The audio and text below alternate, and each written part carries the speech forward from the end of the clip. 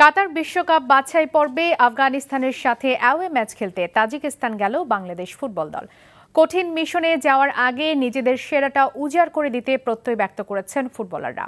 দল নিয়ে আশাবাদী কোচ ও অধিনায়ক আরও ভালোভাবে নিজেদের তৈরি করতে তাজিকিস্তানের মাটিতে দুটি প্রস্তুতি ম্যাচকে বিশেষ গুরুত্ব দিচ্ছেন। আরও জানাচ্ছেন সুব্রত সাহা। দেশের মাটিতে আট দিনের প্রস্তুতি শেষ করে তাজিকিস্তানের উদ্দেশ্যে এই যাত্রা। তেইশ সদস্যের স্কোয়াড ঘোষণার পর দিন পুরো দলকে একসাথে জেমিডে পেয়েছেন বলতে গেলে বিমানবন্দরেই। কারণ আবাহনের সাত ফুটবলার ক্যাম্পের বাইরে ছিলেন ক্লাবের খেলার কারণে। এই মিশনে বাংলাদেশ আফগানিস্তানের সাথে ম্যাচ খেলবে দশই সেপ্টেম্বর।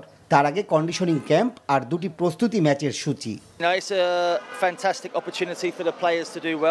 হাতে কিছু সময় নিয়ে যাওয়াতে আমাদের জন্য সুবিধা হবে এটা আমাদের প্রমাণ করার জায়গা ছেলেরা কঠোর পরিশ্রম করেছে ম্যাচটির জন্য স্কোয়াডে যারা আছে লড়াই করার জন্য তাদেরকেই সেরা মনে করছি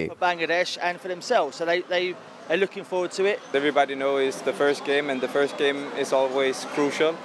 Uh, if we get three points or one point, we I think we will have a good start.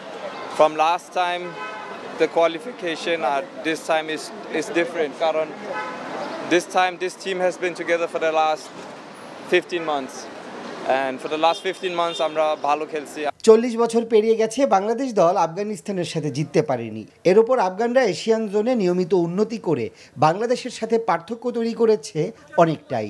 তাদের মুখোমুখি হবার আগে ফুটবলাররা খারাপ সময়কে পেছনে ফেলার চ্যালেঞ্জ নিচ্ছেন। আফগানিস্তানকে এত ভয় পাওয়ার কিছু নেই এখানে। সো আমার আত্মবিশ্বাস আছে মানে ভালো একটা রেজাল্ট হবে। ওয়ার্ল্ড কাপ কোয়ালিফায়ার ম্যাচ হচ্ছে আপনার সবাই হান্ড্রেড পার্সেন্ট দিবে ওয়ার্ল্ড কাপ কোয়ালিফাই করার জন্যই খেলবে। অনেকটা ভালো করছি তো এই কনফিডেন্সটা আমার আছে যে যাইতে হলে আমি অনেকটা ভালো করব। এটা আমাদের জন্য অনেক ইম্পর্টেন্ট একটা ম্যাচ আর টিমের অবস্থা অনেক ভালো আশা করি আমরা আফগানিস্তানকে বিট করতে পারব। তাজিকিস্তানেও ট্রফি মাঠে খেলতে হবে। তো আমাদের যারা আবহনে আছে তাদের ফিটনেস লেভেল অনেক ভালো আছে। হোম অ্যাওয়ে ম্যাচের হিসেব ধরে বিশ্বকাপ বাছাই পর্বে এগুতে হবে বাংলাদেশকে। আপাতত প্রাথমিক চ্যালেঞ্জ আফগান বাধার সামনে প্রত্যাশা অনুযায়ী খেলার। Subrata Saha NTV news Dhaka.